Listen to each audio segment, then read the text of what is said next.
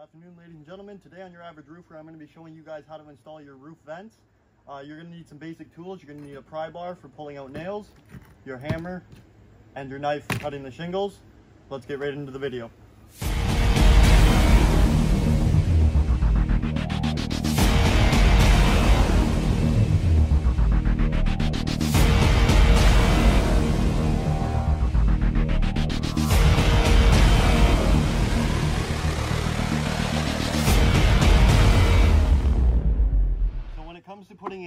Actual box vents, um, usually you're about a foot down from the top of the ridge. So for most roofers, we kind of guess off our hammer. Uh, most framers would measure it out, chalk their lines, and then cut their squares out. But for this instance, we're just gonna go off these two, second and third row from the top, which is usually where it lands on your roof. So what we're gonna do is, our vent's gonna lay like that. So we're gonna pull our vent down, to the row below and we can see where our cuts need to be. And we're gonna take our knife and we're gonna mark it like so. If you zoom in there, you can see where I marked the shingle. One there. And we're just gonna lightly move the vent over about a quarter of an inch. That leaves a little bit of gapping on the sides of the vent so your shingles aren't pushing up tight against the plastic. And we're gonna do the same thing on the other side like so. And then we're gonna come from these lines up to the top of this shingle, the second and third row from the top. You're gonna go straight up off of that. Find where you're gonna cut in. And cut that straight down. So now that we've got to our second side, we're gonna go ahead, cut the same line out. Make sure when you're cutting through your shingles, you're gonna go once but that only cut this shingle and the face of this shingle. You still have to cut the top of this shingle below this, so you're gonna wanna go over it again, pushing very firmly down onto the roof deck, making sure you're getting all the way under. You'll feel the plywood with the tip of your knife. Once you got it out, you're gonna go ahead. Don't worry if you rip shingles here, just don't rip them on the outsides you're gonna get underneath. These are GAF shingles, by the way, so the tar line is super adhesive, so it's very hard to lift up. That's why you can see I'm actually ripping the shingles. Because these shingles have been on here for a few months now, so.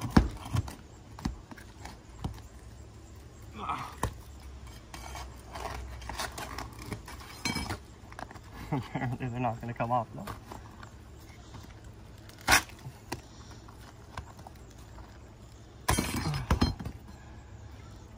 That's GAF quality right there. Tar line's not letting go. Anyways, now that you got that cut, you got this released. You can see here I didn't cut all the way through at the double laminate line. So just give that another pull. There may be there may be a nail there as well. There is. So we're gonna go under there with our pry bar and pull that nail out. And that's it for nails there. So now you have these shingles loose. You're gonna go ahead and cut straight across the double laminate line where this exposure meets this one. Cut straight across there.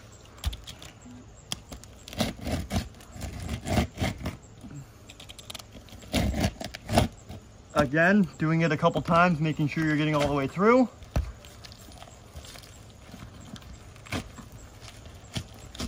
I didn't get all the way through. So go ahead cut it again. Make sure you get all this stuff out of your way. And as you can see, this shingle now has the backing still in your way. So you're gonna cut that out. Usually your box vent will be about an eight by eight or 10 by 10 inch square. So you wouldn't have to cut all the way to where these lines are.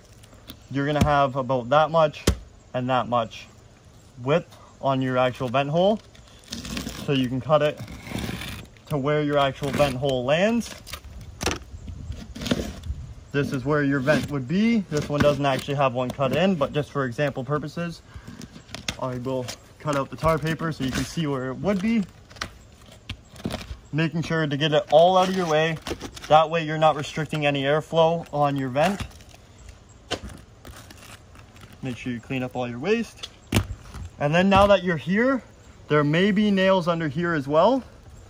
So if you try to lift up, you can see there is actually one nail right in this area. So you're gonna take your pry bar, get all the way under,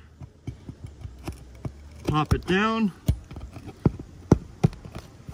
and pry that nail up, trying not to damage the shingle as much as possible. It does happen, and if you do damage that shingle, then you will have to replace it. So you get that nail out of your way, and as you can see, there's one more nail right here.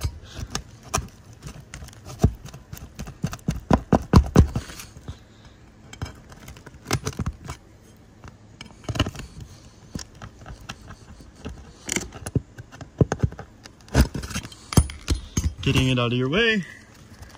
Check, make sure there's no more nails. You may have some here, like this one, that is in your way. And if you check this side, you can see there's actually no nails in my way. So we gotta get this open.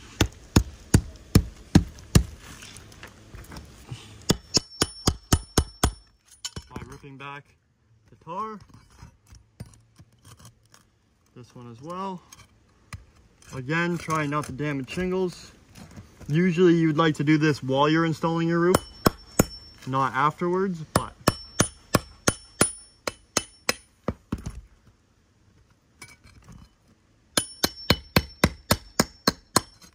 now you can see the adhesive has lifted, lifted. And one more nail. That would be in my way. Pull that out of there. So now that you have your shingles cut, your tar lines released, you're gonna take your box vent here and it should slide right into place, making sure you're not catching anything at the top, making sure you're not pushing too many shingles out of the way. All right, now you got your vent into place that's where your vent's going to sit. You're gonna go ahead, you're gonna put four nails in the bottom. I recommend using grommeted screws because if you use nails, you have to put caulking on the head of the nail and that will only last about three to five years and you have to either recaulk them. If you don't, it's a potential leak. So I use grommeted screws, self-sealing grommeted screws that we use for metal roofing. Um, but once you have your nails or screws in the bottom, you're gonna go ahead lift these tabs and nail underneath the vent or underneath the shingles onto the vent as well. And always try to stay outside of this rain line. Keep your nails back that far from the vent. That prevents any water tracking its way into your vent.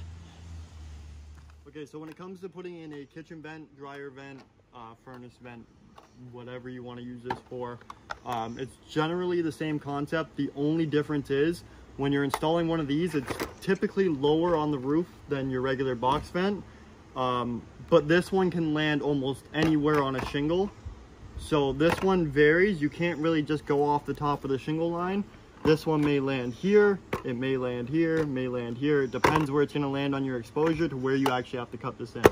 So for this instance, we're gonna mark out a spot here that little circle there, it's probably hard to tell on camera, but there is a circle on the roof now.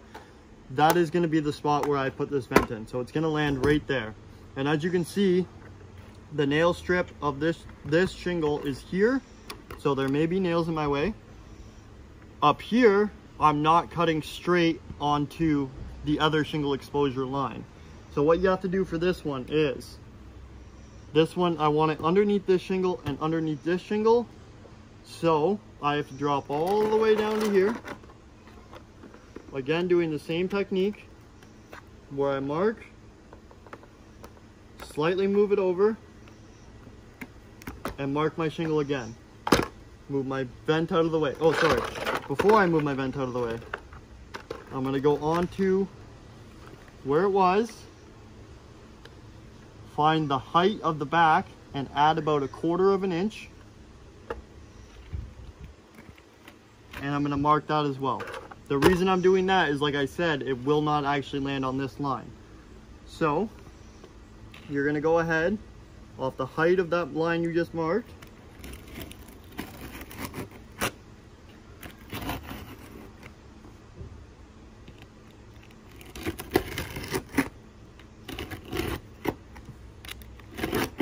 Cut your shingles again and then cut your top line.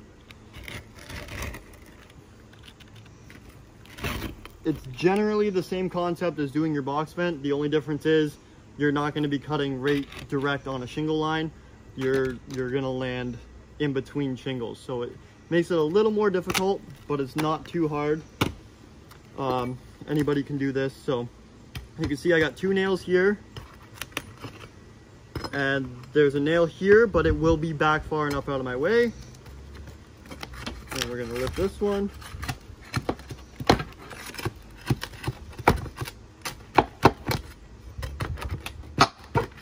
Again,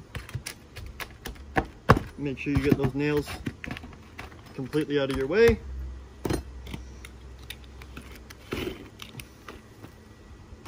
And this is where that circle was. So you would have to cut out, most people like to go around to where their actual penetration of the vent is coming out. Usually this is like a bathroom vent kind of thing off your fan.